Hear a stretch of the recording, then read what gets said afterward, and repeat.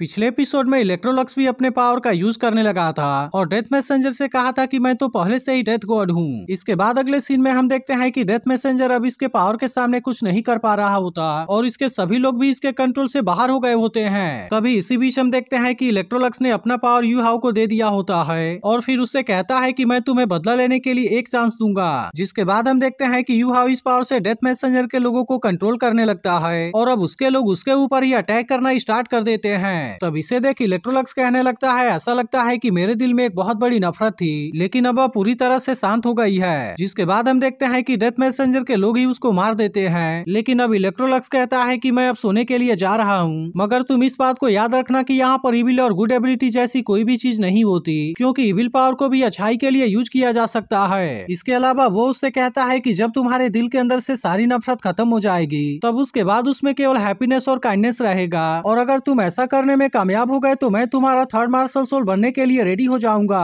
और फिर इस तरह से तुम मेरे हंड्रेड मैजिक को भी हासिल करने के लिए क्वालिफाई हो जाओगे। जिसके बाद यू हाउस से कहता है कि ये लाओ आखिरकार आप हो कौन? क्योंकि आप तो सच में बहुत ज़्यादा पावरफुल हो। लेकिन इलेक्ट्रोलक्स बिना कुछ कहे यहाँ से गायब हो जाता है। जिसके बाद टियानमेंग यू हाउस से कहता है कि शायद वह भी पहले तुम्हारे जैसा कोई इंसान ही होगा। लेकिन असल में उसके पास में बहुत ही पावरफुल एबिलिटी है। इसीलिए मुझे ऐसा लगता है कि उसका सामना किसी बहुत पावरफुल एनिमी से हुआ होगा, जिसने की उसे हरा कर मार दिया होगा। लेकिन फिर भी किसी तरह से उसके स्पिरिचुअल कॉन्सियसनेस का एक हिस्सा वहाँ से बच गया होगा। तभी बिंग बिंग कहने लगती है की ये का ताकत का पता उसके लेवल से ही पता चलता है। लेकिन इसी के साथ ऐसा लगता है कि उसने किसी बहुत बड़े ट्रॉमा का सामना किया है, जिसके वजह से ही उसका स्पिरिचुअल कॉन्सियसनेस किसी तरह से खुद को पूरी तरह रिकवर करना चाहता है। लेकिन असल में इसे ऐसा करने में कम से कम सौ साल ज़रूर लग जाएँगे। इसी के साथ वो इसे बताती है कि ऐसे पावर का इतने आसानी से यूज़ करना पूरी तरह से इम्पॉसिबल है, क्योंकि अभी उसने जो मैजिक मेंशन किया था, वो एबिलिटी शायद उसके प्लेन से बिलोंग करती है। अब इतनी बात कहने के बाद वो यू हाउस से कहती है कि वह जैसे ही बहुत ज़्यादा पावरफुल हो जाएगा, तुम उससे इसके बारे में सीख सकते हो। तब इस पर यू हाउ कहता है की यू लाओ के पावर ने तो इविल सोल मास्टर को इतने आसानी से हरा दिया।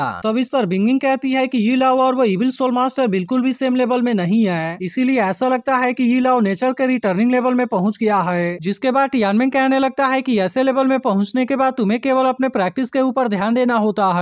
और इस तरह से तुम धीरे धीरे और भी ज़्यादा पावरफुल होते जाओगे। तब इसकी बात सुनकर यू हाउ भी कहता है कि मैं भी इसके बारे में समझ गया। लेकिन तभी इसी वक्त हम देखते हैं कि यू हाउ को बचाने के लिए मास्टर सुहान वहाँ पर आ गए थे और वो यू हाउ से पूछने लगते हैं की विल सोल मास्टर के साथ में क्या हुआ? लेकिन हम देखते हैं की यू हाउ इनसे इसके बारे में कुछ भी नहीं कहता, जिसके बाद मास्टर सुहान कहते हैं की चलो अब हम वहाँ पर चलकर बाकी लोगों के कंडीशन के बारे में देखते हैं। इसके बाद अगले सीन में हम देखते हैं कि इनके कुछ साथी इसमें बहुत बुरे तरीके से इंजर्ड हो गए होते हैं, जहाँ पर लुओ चेन जिफेंग से कहती है कि तुम इसके लिए मुझे माफ़ कर देना, क्योंकि मुझे बड़ा वाला आइस प्रिजन एक्टिवेट करने का मौका नहीं मिल सका। इसके अलावा हम देखते हैं कि सियाओ भी इसमें बहुत बुरे तरीके से जख्मी होती है, लेकिन तभी इसी वक्त मास्टर सुवान भी यूहाओ को अपने साथ लेकर यहाँ पर आ जाते हैं और यूहाओ को देखते ही वांग तुरंत उसके पास में आकर उसके बारे में पूछने लगता है। इसके बाद मास्टर सुहान भी उदास होते हुए टीचर जामा से पूछते हैं कि यहाँ की सिचुएशन कैसी है, जिस पर टीचर जामा इमोशनल होते हुए कहती है कि हाउस ने बाकी लोगों को बचाने के लिए खुद को सेक्रीफाइस कर दिया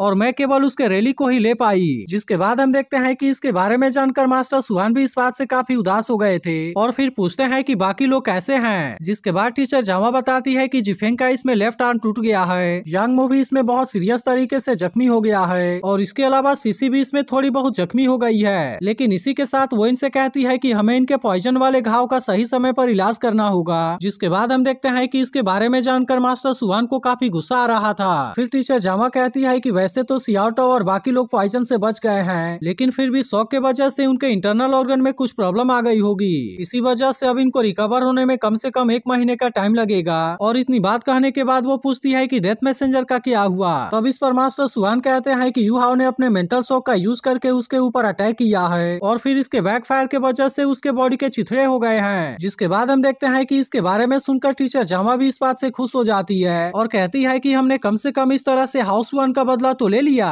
तभी काइतो कहने लगता है कि मैंने बॉम्ब के बारे में बहुत ही अच्छे से चेक किया, जिसमें कि बहुत ही खतरनाक पॉइजनस एसिड है। लेकिन असल में एक सोल गाइड एलिमेंटल बम को बनाने के लिए मार्शल सोल पॉइजन और को एक साथ में कंपोज किया जाता है, जिसके वजह से इसका प्रोसेस बहुत ही कॉम्प्लेक्स है। और यहाँ तक कि हमारा सोल गाइड ब्रांच भी इसे इतने आसानी से नहीं बना सकता। तो अब इसके बारे में सुनकर मास्टर सुहान कहते हैं कि अगर ऐसी बात है तो इसका मतलब है कि इसका मास प्रोडक्शन केवल सन मून एम्पायर ही कर सकता है। यह सुनकर यू हाव कहने लगता है कि सन सनमून एम्पायर और स्टारलू एम्पायर के बीच में कोई ना कोई प्रॉब्लम होती रहती है। इसीलिए ऐसा लगता है की इविल सोल मास्टर की आर्मी स्टारलू आर्मी के नज़दीक में ही छुपी रहती है और इसके वजह से उनके दूसरे इंटेंशन के बारे में समझ पाना भी काफ़ी मुश्किल है। तब इस पर मास्टर सुहान कहते हैं कि अब हम इसके बारे में बाद में बात करेंगे, क्योंकि मैं सबसे पहले यांग मो जिफेंग और सीसी को यहाँ से ट्रीटमेंट देने के लिए अपने साथ में वापस ले जा रहा हूँ, जिसके बारे में सुनकर टीचर जामा उनसे पूछती है की क्या आप सच में वापस जा रहे हैं। तब इस पर मास्टर सुहान कहते हैं की यहाँ पर जो भी हुआ उसकी पूरी ज़िम्मेदारी मेरी है। इसके अलावा अब कंपटीशन के लिए अकेडमी से नए प्लेयर को भेजने में भी काफ़ी लेट हो गई है। इसीलिए मैं चाहता हूँ कि सबसे पहले तुम्हें वहाँ पर जाना होगा और इसके अलावा वहाँ पर तुम्हें किसी भी तरह से तब तक टिकना होगा, जब तक कि सियाओटा और बाकी लोग अपने इंजरी से पूरी तरह से रिकवर नहीं हो जाते। अब इतनी बात कहने के बाद मास्टर सुहानिन से कहते हैं कि अब स्कूल की इज़्ज़त तुम्हारे हाथों में है। जिसके बाद हम देखते हैं कि इसके बारे में सुनकर वे सभी भी इसके लिए पूरी तरह से रेडी हो गए थे। और अब मास्टर सुहान यहाँ से इंजर्ड हो चुके स्टूडेंट को अपने साथ लेकर स्कूल में वापस आ जाते हैं। लेकिन अभी भी हम देखते हैं कि मास्टर सुहान इन चीज़ों के बारे में याद करके काफ़ी उदास होते हैं। जिसके बाद अगले सीन में हम देखते हैं कि मास्टर सुहान ने पोसाइडन पवेलियन में एक मीटिंग को बुलाया था और इसीलिए वे सभी जानना चाहते हैं कि आखिरकार यह किस बारे में है। जिसके बाद मास्टर सुहान इनसे कहते हैं कि सबको पता है कि इस बार वहाँ पर क्या हुआ, लेकिन असल में आज ऐसा पहली बार नहीं हुआ है जब मैं इस टीम को लीड कर रहा था। इसीलिए मैंने अब सुपरवाइजरी टीम से रिजाइन करने का डिसाइड कर लिया है और इस तरह से मैं पोसाइडन पवेलियन से निकलना चाहता हूँ। लेकिन इसके बारे में सुनते ही सभी पूरी तरह से हैरान हो गए थे। और मास्टर यान उनसे कहता है कि आखिरकार आप ऐसा कैसे कर सकते हैं? क्योंकि वैसे भी तो गलती हर किसी से होती है। और इसके अलावा इस बार जो हुआ है, उसके पीछे बहुत सारे फैक्टर्स भी हैं। क्योंकि इविल सोल मास्टर के पास में बहुत सारे प्लान थे। और इसके अलावा उन्होंने तो सोल गाइड एलिमेंटल बॉम्ब का भी यूज़ किया था। लेकिन इसके बाद भी हम देखते हैं कि मास्टर सुहान इसके बारे में कुछ भी नहीं सुनना चाहते थे। और वो कहने लगते हैं कि इस बार मेरे वजह से एक की मौत हो गई है। जबकि उसमें से छह लोग बहुत सीरियस तरीके से जख्मी हो गए हैं। इसीलिए ऐसा लगता है कि मैं अभी ज़िम्मेदारी को लेने के लिए काबिल नहीं हूँ। लेकिन इस पर मास्टर लिन उनसे कहती है कि आपको इसके बारे में इतना परेशान होने की ज़रूरत नहीं है, क्योंकि वैसे भी तो हमने यहाँ पर एक साथ में मिलकर बहुत सारा काम किया है। तब इस पर मास्टर सुहान कहते हैं कि मैं सबसे पहले हाउस वन के फैमिली के पास में जाना चाहता हूँ, ताकि इस तरह से मैं उनके ग्रीफ को रिजोल्व कर सकूँ।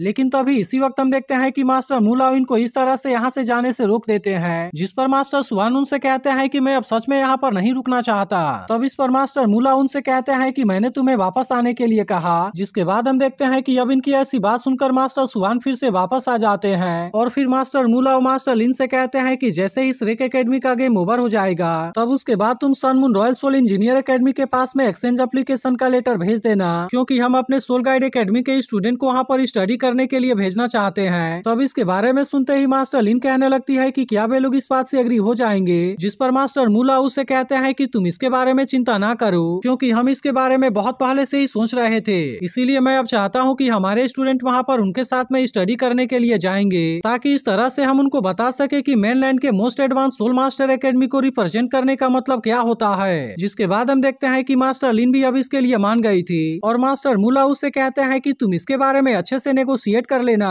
क्योंकि मैं किसी भी तरह से पाँच साल में वुहन एकेडमी और सोल गाइड एकेडमी को एक साथ में इंटीग्रेट करना चाहता हूँ। तब इसके बारे में सुनकर मास्टर यान कहता है कि क्या सच में इसकी इतनी जल्दी है? क्योंकि भले ही सोल गाइड टेक्नोलॉजी का डेवलपमेंट बहुत ही फास्ट है, लेकिन फिर भी जब एक सोल मास्टर सोल सेंट के लेवल में पहुँच जाता है, तब उसके बाद कोई भी हमारे सोल मास्टर की बराबरी नहीं कर सकता। तब इस पर मास्टर मुलाव कहने लगते हैं कि मैं अभी कुछ समय पहले ही सनमून एम्पायर में गया था, जहाँ पर कि मैंने हैरान कर देने वाली बहुत सारी चीज़ें देखी। इसीलिए सनमून एम्पायर में सोल गाइड टेक्नोलॉजी का डेवलपमेंट हमारी इमेजिनेशन से भी काफ़ी आगे है, और इसके अलावा मैंने तो वहाँ पर इतने बड़े सोल गाइड को देखा, जिसे की कंट्रोल करने के लिए बहुत सारे लोगों की ज़रूरत पड़ती है। और इसीलिए मुझे ऐसा लगता है कि वह चीज़ मुझे डराने के लिए काफ़ी है, जिसके बाद इसके बारे में सुनकर वे सभी भी पूरी तरह से हैरान हो गए थे। और फिर मास्टर यान उनसे कहता है कि आप तो पहले से ही लेवल 99 में हैं, लेकिन क्या इसके बाद भी वो सोल गाइड इतना पावरफुल है कि उसने आपको भी डरा दिया? जिस पर मास्टर मुलाव कहते हैं कि वह सच में बहुत ज़्यादा खतरनाक है। और अब तो सनमून एम्पायर के सिचुएशन को देख ऐसा लगता है कि वह तो अकेले ही काफ़ी है। अब इतनी बात कहने के बाद वो इनसे कहते हैं कि अगर यहाँ पर कोई बहुत बड़ी बैटल स्टार्ट हो गई तो क्या तुम्हें लगता है कि श्रेक एकेडमी इसमें सरवाइव कर पाएगा। वहीं दूसरी तरफ़ हम देखते हैं कि यूहा और उसके सभी साथी स्टार लू सिटी में आ गए थे, जहाँ का नज़ारा देखने में सच में काफ़ी अमेजिंग लग रहा होता है। तभी इसे देख सियाओ कहने लगती है की यह सिटी तो सच में काफ़ी बड़ा और काफ़ी सुंदर है, और इसके अलावा हम देखते हैं कि यहाँ के कंपटीशन को देखने के लिए यहाँ पर बहुत सारे लोग भी आए हुए थे। तभी टीचर जामा इन सभी से होटल के कॉन्फ्रेंस रूम में आने के लिए कहती है, क्योंकि वो गेम के स्टार्ट होने से पहले वो इनको इसके बारे में सब कुछ बता देना चाहती है, जिसके बाद हम देखते हैं कि वे सभी एक एक साथ में इसके लिए आ गए थे, जहाँ टीचर जामाइन से कहती है की यह कम्पिटिशन कल से स्टार्ट हो जाएगा, और इसीलिए तुम्हें इसके बारे में जो भी पूछना हो पूछ सकते हो। तब इस पर बेई पूछता है की कॉलेज के तरफ़ से सपोर्ट कब तक आ जाएगा। तब इस पर टीचर जामा कहती है की अभी इसमें कुछ टाइम लगेगा, जिसके बाद सियाओ कहती है की हम तो ये भी नहीं जानते की ये कम्पिटिशन किस तरह से होगा। तब इस पर टीचर जामा इनसे कहती है की प्रिलिमिनरी राउंड का पहला राउंड नॉकआउट राउंड है, और इसीलिए इसका लूजर इसमें से डायरेक्टली एलिमिनेट हो जाएगा, और इसी के साथ वो इनसे कहती है कि इस गेम का फॉर्मेट सेवन वर्सेस सेवन है। इसके बाद वो इनसे कहती है कि आखिर में रॉबिन राउंड होगा और फिर जैसे ही तुम नॉकआउट राउंड को पास कर लोगे, मैं तुम्हें बाकी के बारे में बाद में बताऊँगी। तब इस पर नानान कहती है, इसका मतलब है की हमें नॉकआउट राउंड को किसी तरह से सर्वाइव करना होगा, क्योंकि हम सपोर्ट के आने से पहले किसी भी तरह से इसमें से एलिमिनेट नहीं हो सकते। जिस पर टीचर जामा इनसे कहती है कि हाँ तुम्हें ऐसा ही करना होगा। लेकिन अब इसके वजह से हम देखते हैं कि इसके बारे में सुनकर वे सभी काफ़ी परेशान हो गए थे, जिसके बाद टीचर जामा इनसे कहने लगती है कि क्या तुम इसके बारे में डर गए और क्या तुम भूल गए कि तुम सभी श्रेक एकेडमी के लाइट स्टूडेंट हो? इसके बाद वो इनसे कहती है कि तुम्हारा ओपोनेंट असल में तुमसे काफ़ी वीक है और इसके अलावा यहाँ पर तो लेवल फोर वाले बहुत ही कम दिखाई देते हैं, जिसके बाद हम देखते हैं कि इसके बारे में सुनकर इनका कॉन्फिडेंस बहुत ज़्यादा बढ़ गया था। लेकिन वही सियाओटा और बाकी लोग अभी भी काफ़ी उदास होते हैं। लेकिन इसके बाद हम देखते हैं की टीचर जावा सियाओटा और याओ हेंग और लुओ चेन से अकेले में बात करती है, जहाँ पर याओ हेंग टीचर जामा से कहता है कि क्या सच में उनको इतना कॉन्फिडेंस देने का कोई मतलब बनता है? तब इस पर सियाओ टाओ कहती है कि, टीचर जामा ने बिल्कुल सही किया, क्योंकि इस तरह से उनका मोरल काफ़ी हाई होगा। जिसके बाद हम देखते हैं कि टीचर जामा इनसे इनके रिकवर होने के टाइम के बारे में पूछने लगती है और फिर इनसे कहती है कि, मुझे तो रिकवर होने में दस दिन का टाइम लगेगा। इसके अलावा सियाओ टाओ को पंद्रह दिन और जबकि याओ हेंग को रिकवर होने में सत्रह दिन का टाइम लगेगा। अब इतनी बात कहने के बाद वो कहती है कि, तुम उनसे इसके बारे में रिवील मत करना कि यहाँ पर कोई भी सपोर्ट नहीं आने वाला, क्योंकि हमें किसी भी तरह से विक्ट्री के लिए कॉन्फिडेंस को बढ़ाना है। वहीं उधर सियाओ यू हाउस से पूछती है कि क्या टीचर जामा ने जो कहा वह सही है? लेकिन अब इस पर यू हाउ और वांग कहते हैं कि अब इस बात से कोई भी फ़र्क नहीं पड़ता, क्योंकि अगर हमें फाइट करना है तो कैसे भी करना है। इसके बाद अगले दिन हम देखते हैं कि इस गेम को स्टार्ट करने का टाइम आ गया था, जिसे देखने के लिए यहाँ पर बहुत सारे लोग भी आए होते हैं, और इसी के साथ वे सभी इसके लिए काफ़ी एक्साइटेड भी होते हैं। वहीं दूसरी तरफ़ हम देखते हैं कि एरिना में भी इस गेम को देखने के लिए बहुत सारे लोग आए होते हैं, और अब वे सभी इसके लिए पूरी तरह से एक्साइटेड हो गए थे। जिसके बाद हम देखते हैं कि यहाँ का किंग भी अब इस गेम को स्टार्ट करने के लिए यहाँ पर आ गया था और इनसे कहने लगता है कि यहाँ पर जो कॉन्टिनेंटल सोल फाइटिंग कंपटीशन होने वाला है, वो असल में हमारे डलाउ कॉन्टिनेंट सोल मास्टर के लिए बहुत बड़ा इवेंट है और इस बार तो यह गेम हमारे स्टारलू एम्पायर में होने वाला है। इसके अलावा हम देखते हैं कि वो यहाँ पर गेम के लिए आए हुए अलग अलग अकेडमी के टीम के बारे में भी बात करता है और कहता है, मैं उम्मीद करता हूँ कि तुम इसमें अगले मंथ तक कम्पीट करोगे। जिसके बाद हम देखते हैं कि इसके बारे में सुनकर सभी लोग भी काफ़ी एक्साइटेड हो गए थे और अब इस तरह से यहाँ पर continental soul fighting